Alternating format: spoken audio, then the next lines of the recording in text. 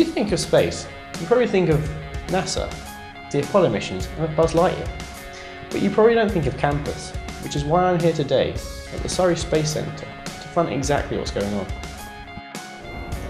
This is an automated landing system for use on the Moon and Mars that will help vehicles land safely so that we can discover more about what goes on in that environment. And this box of technological gizmos is part of a worldwide network of ground station facilities that means that satellites in orbit can now be monitored from wherever they are in the world. I'm here with Dr. Vaios Lappas, who's a senior lecturer in space field control at the University of Surrey. Dr. Lappas, can you tell us a bit about what's going on at Surrey Space Centre? Um, the Surrey Space Center is a center of excellence in space systems research and space applications. We have about 10 academics, we have the largest group of PhD students, about 70 of them uh, working on various uh, aspects of space research, and a lot of supporting staff. Um, it is fair to say that the University of Surrey and the Surrey Space Center is a world leader in satellite engineering. What would you say is a secret to the Space Centre's success? I don't think there is a single secret, but it's actually a number of secrets put together, which actually are not secrets. Um, it has to do with uh, recruiting uh, really good students and having really good students.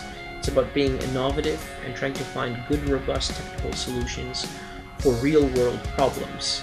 If I was to send a satellite into space, how much would that cost me? If one was to design a small satellite to do Earth observation, as we successfully do here in the center with our commercial partners, one could design small satellites from anything uh, starting from 100,000 euros or pounds and going to 10, 15, or 30 million, such as what we have designed here at the university.